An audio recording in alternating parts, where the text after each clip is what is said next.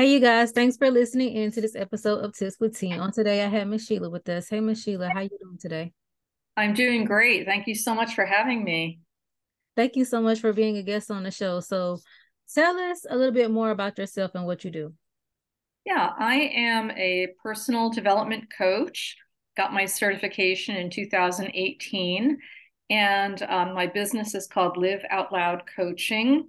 And uh, I think I started it. I was trying to figure out what to do, and um, I had lost my husband in 2012, and it was quite a healing journey for me. So through that, I realized how to how to be on my own and what to do, and I under finally understood what empowerment meant.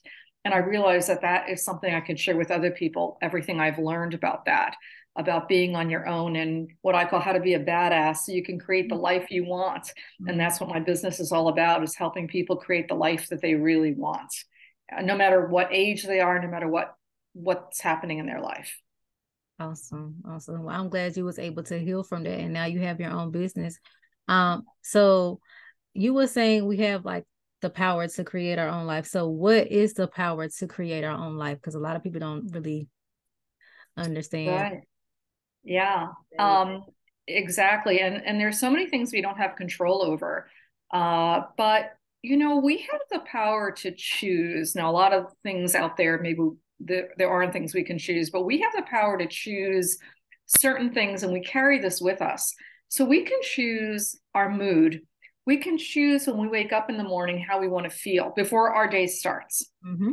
We can choose um, to set an intention or not. We can choose that. We can choose are we going to get angry at our boss or not? Are we going to mm-hmm. ha- have a bad day or not? So we we have that. We let that go. Mm-hmm. You know, it's it's sort of we let life happen to us.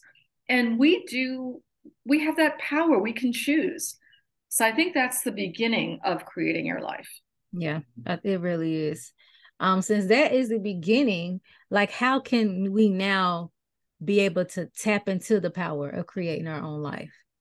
Well, I think it starts with deciding, mm-hmm. uh, not wishing, not wanting, not hoping, not daydreaming, but really deciding, you know, who we want to be and how we want to live our life. And that's kind of hard because, you know, you have to have responsibility then for your life. You know, that decision is a tough one to commit to that.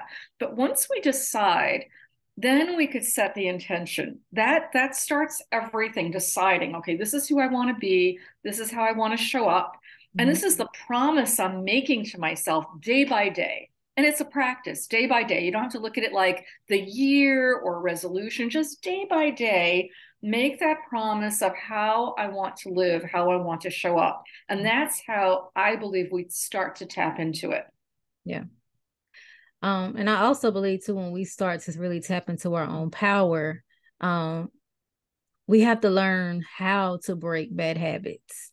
Um, so can you give us um examples or tell us ways on how we can break the bad habits so we really can tap into our power, such as like people pleasing and self-sabotaging, because those are the most common things that we see. Yeah. Um, and I believe that everything, I hate this word practice because when you're a kid, you know, you're parents make you practice whatever it is but really is practice because we've gone through life let's say people pleasing let's say we're a people pleaser and so we definitely have to practice something else what do we replace that with and i always say you know for anybody who's a people pleaser to say to that person i love you but i love me more mm-hmm. and so it's not about not helping people or being kind to people or doing things for people. Of course, we want to be beautiful people. We want to be kind. We want to be generous. We want to help, but not at the expense of our own happiness.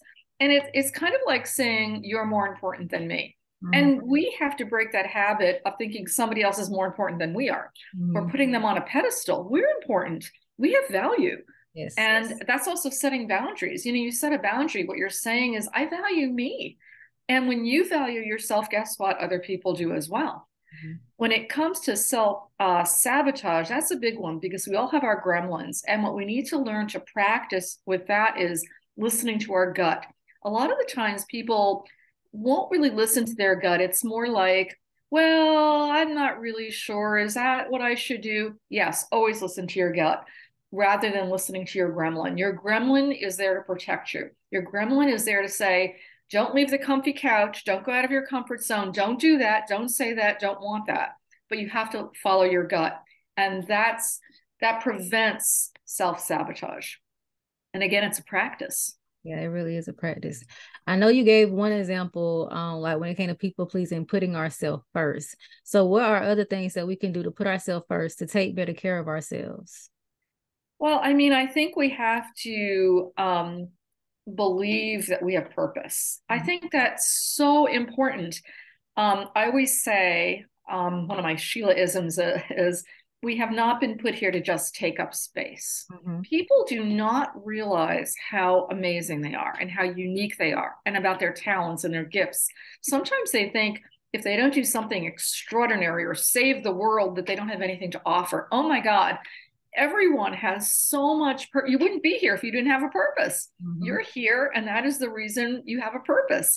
Mm-hmm. and to be so thankful for the most important person you know and that's you. And it starts from that. It starts from ourselves. And people just don't believe that they count mm-hmm. and that they have unique things to bring. I always say what do you bring to the party? Because I don't care if you are the same as 20 other people, you do the same job. I don't care what it is. You are never going to be the same. You have your own history, you have your own story, you have your own background, you have your own challenges and successes. You are so unique. People just don't realize that they have a purpose, and it's time for everybody to realize it and to embrace that. Yeah. Yeah, and then uh, like the beauty for me is once you realize your purpose, embrace your purpose.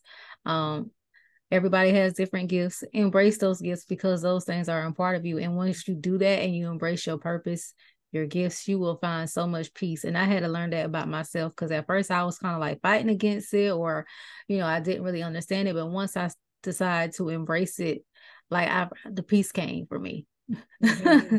And you know what else? It unfolds because you may start doing something, you may not be sure, but it will unfold and it will take you in the direction you're supposed to be in and mm. you'll grow and you'll evolve what you're supposed to. But everybody starts with something and then that just blossoms out. We just have to believe in ourselves. You know, when we're adults, we don't have anybody cheerleading us. We have to be our own cheerleaders. We yeah. have to believe in ourselves mm-hmm. with complete certainty. Mm-hmm. Awesome. Well, thank you so much, Ms. Sheila, for being a guest on the show. So I'm going to share your social media handles. Tell our listeners how they can get in contact with you if they would like to render any of your services. Yeah. Um, they can find me on my website, and that is called liveoutloudcoaching.com.